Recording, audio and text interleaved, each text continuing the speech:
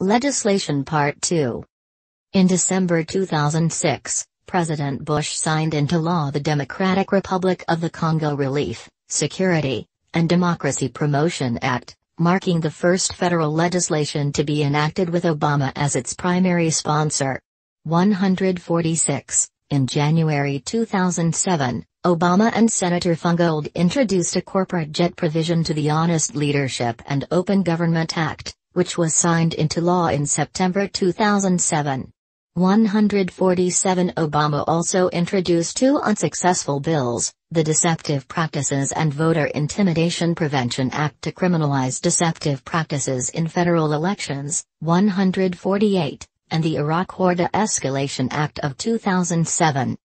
Later in 2007, Obama sponsored an amendment to the Defense Authorization Act to add safeguards for personality disorder military discharges. This amendment passed the full Senate in the spring of 2008. He sponsored the Iran Sanctions Enabling Act supporting divestment of state pension funds from Iran's oil and gas industry, which has not passed committee, and co-sponsored legislation to reduce risks of nuclear terrorism.